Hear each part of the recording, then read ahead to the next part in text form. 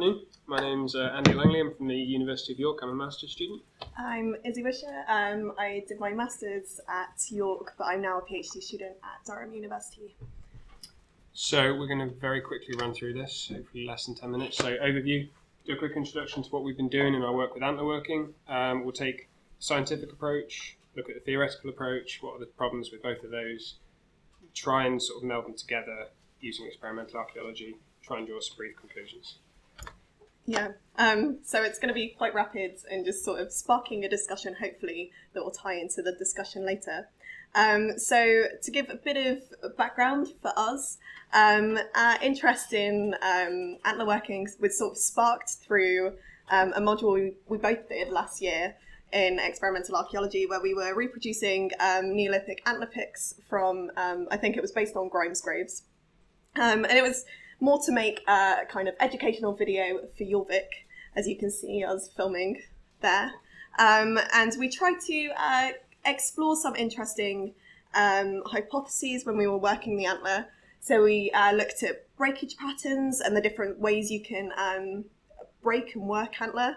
Um, and then did a, a, very small experiment where we soaked antler for a week just to observe what happened, um, but didn't really take that any further and then noticed that we had some interesting observations and decided, yeah, to go further with it. Yeah, so we carried on working outside of um, our module, and we um, we sort of sort of went through a journey of how to carry on our work in breaking antler and how sort of antler is worked more broadly. And we ended up looking at uh, soaking patterns or how to incorporate soaking antler into a sort of chaîne opératoire. And so, yeah, over the last year, that's really been our, our focus. Um, so we, we looked at, we tried to use sort of scientific approaches and theoretical approaches, and that because of that, that's how we've ended up sort of in this in this conversation. So, very very quickly, if you're going to take a scientific approach to antler working, um, I could stand here for hours and talk about the philosophy of science, but just to pick out a few sort of salient points. So, the scientific sort of approach, you need to have a sort of an idea of universal principles. So if antler, if you can work antler, antler must break or be worked in the same place in the same way at all times in all places. So antler is a sort of consistent material. Um, so there must be some sort of universal principles that underlie how antler works. Um, so that's sort of the first thing. And then you would have to use the scientific method, obviously, if you're going to work it um, and try and get some kind of metric data out of it. The problem with approaching it from this angle, and we looked at originally sort of whether you could do stress test patterns on breaking antler, putting them through different sort of machinery to, to find if there was a, an exact amount of force that was required if you soaked antler um, to see whether it would break.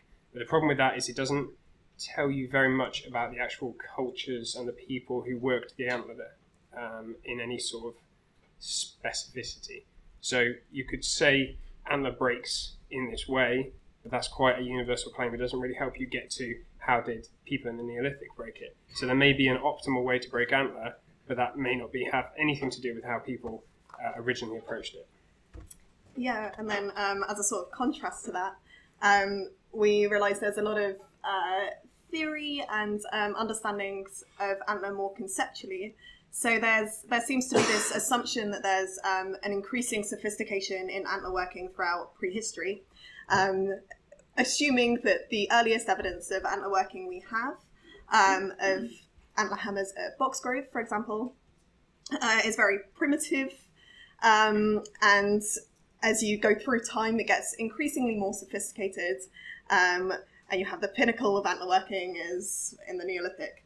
Um, and I'll come back to this point because we found that not to be the case.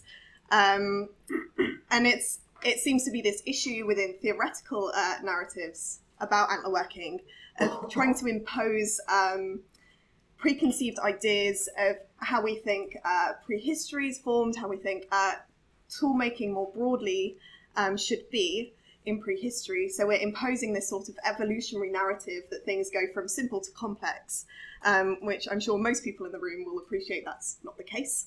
Um, and there are more nuanced understandings of antler working, where they try to explore um, chaîne opératoire, for example. But again, this is imposing um, a set of stages that are preconceived, um, admittedly based on evidence from the archaeological record, but it's not explored further than that um, in terms of the properties of antler. Or perhaps trying to think of the cultural significance of antler, um, but this is quite uh, generalist. So the problem we have in theoretical approaches um, is this trying to impose these preconceived ideas without an appreciation of antler as a material um, and as a property. So I imagine we can take issue with this table, but this roughly gives you an idea of, of the two sort of approaches here. So you've got the scientific on the left, theoretical approach on the right. So if you're going to take a scientific approach, you assume that what you're talking about is real. So antler is a, is a real thing; it must have real properties. Um, the way you would look at it is through an empirical study. Um, you would use observation, you would use the skeptical scientific method to approach it. Um, you would subject your ideas to experimentation. And so the takeaway message for that is that using that can lead to a lack of appreciation for the specific culture that then work, that was working at that. Um, and on the opposite approach, uh, if you're going to use the theoretical, so theories are quite instrumentalist. So they, they they they are useful, and then you do something with them, and then you can drop them. You're not assuming that your theory is actually true, unlike the kind of the realist approach of, of uh, scientists. Um, they're rational, so you, you think up an idea, then you impose it downwards, um, and then so you're imposing preconceived ideas. They can be quite general, and so that leads to a lack of appreciation of the actual material, the materiality of what you're working with. So, if nothing else, just to take away those two points: lack of appreciation for culture, lack of appreciation for materiality. So, how do we solve this issue between the two different um, approaches? Well, we found uh, for, from our own experience that experimental archaeology sort of brings together quite naturally um, these two aspects.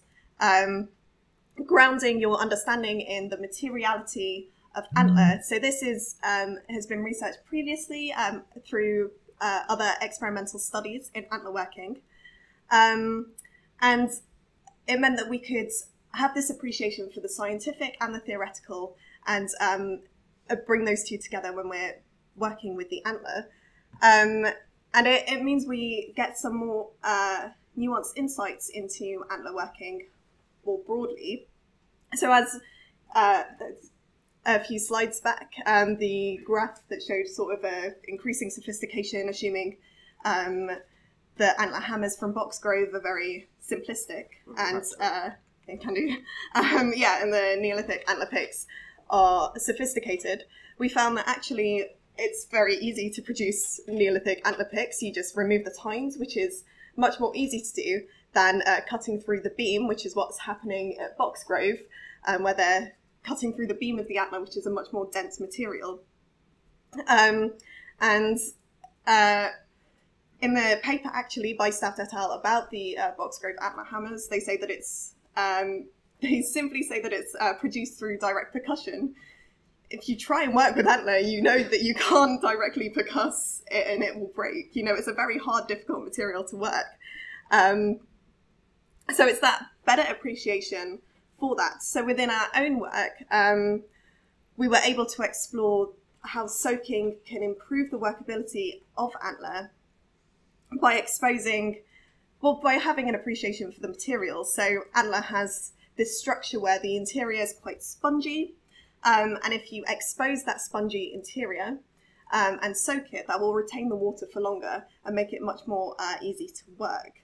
So it's that it's that depth of appreciation for understanding the material. Um, yeah. Yeah. So in conclusion, then um, we, we're using experimental archaeology as a bridge to um, integrate both scientific and theoretical approaches. Um, so it allows, if you're taking the scientific approach, it allows you to ground it in sort of specific cultures, and if you're taking the theoretical approach, it allows you to appreciate the materiality a bit better. Um, and that would be a straightforward conclusion within 10 minutes. Very quickly. Thank you for listening. Uh,